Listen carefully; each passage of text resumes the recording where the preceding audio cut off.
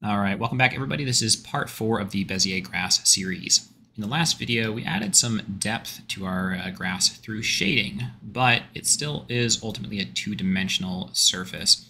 And so when looked at from certain angles, it effectively disappears. This is a problem they had when uh, developing the grass for Ghost of Tsushima as well. And their solution was to tilt the grass slightly when viewing it from certain angles so that it was harder to look at it edge on. Uh, so if we go ahead and do that here, set this to 1.2, now you can see that despite looking at it from the same, same angle, it's got a bit of um, thickness to it.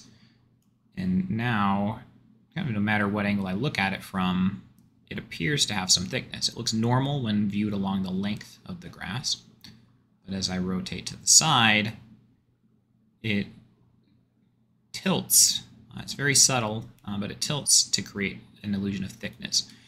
I can get to an angle where it's invisible, but only if I put my head clipped through the ground. So when viewed from above the ground, I can't really see it from that angle.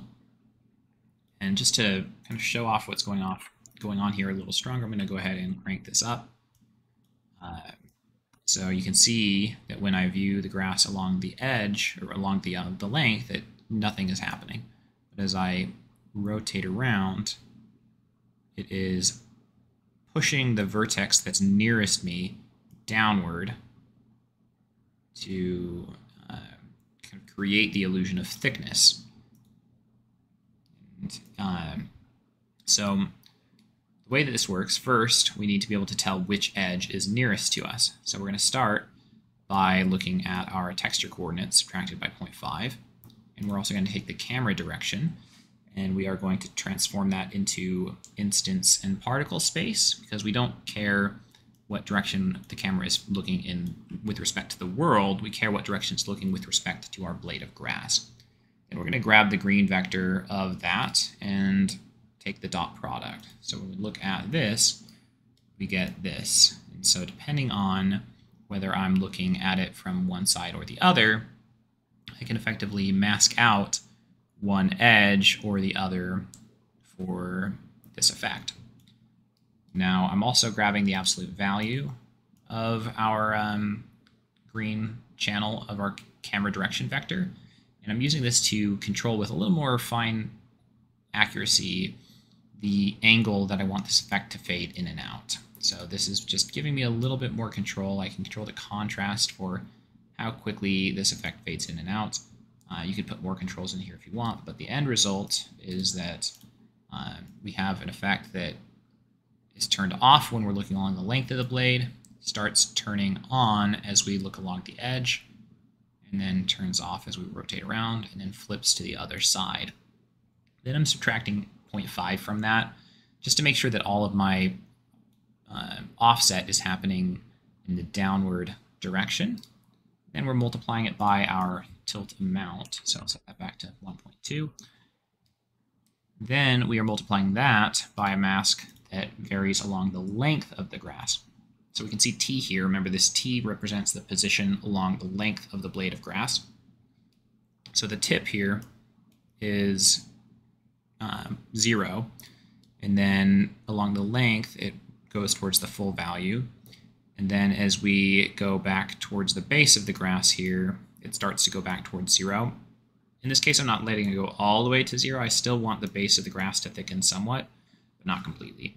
And the result of this, if we go ahead and maybe crank this back up, if I disconnect this, you'll see that um, by moving all of the grass position, uh, we're making, you know, it look like a, a ribbon.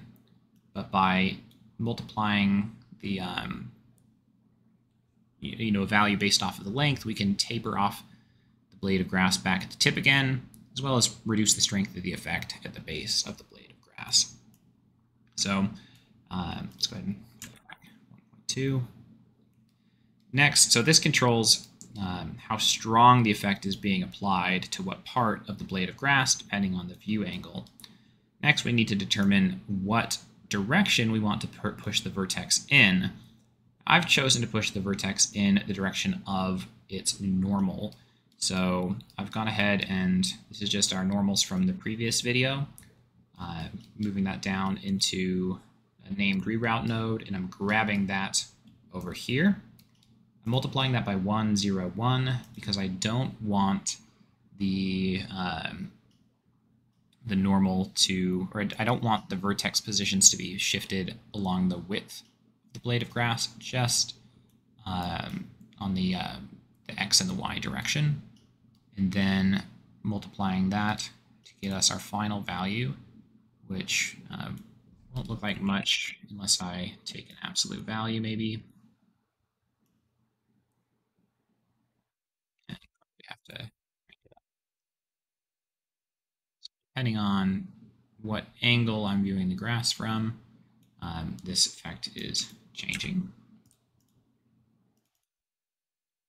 And then at the tilt, uh, so I'm just using a named reroute node to take that tilt amount, add it back to our world position offset before finally transforming it to instance and particle space. And so the end result here is that our grass looks more thicker, uh, more thick and three-dimensional than it otherwise would.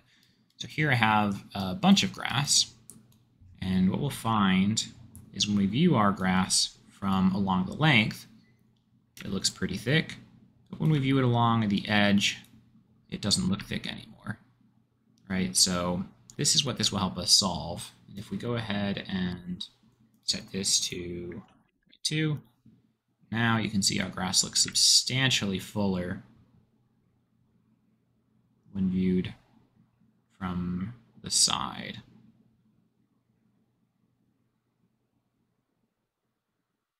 All right, that's that. That's all I have for this video. Uh, let me know what else you'd like to see uh, in this series. But until next time, thanks for watching.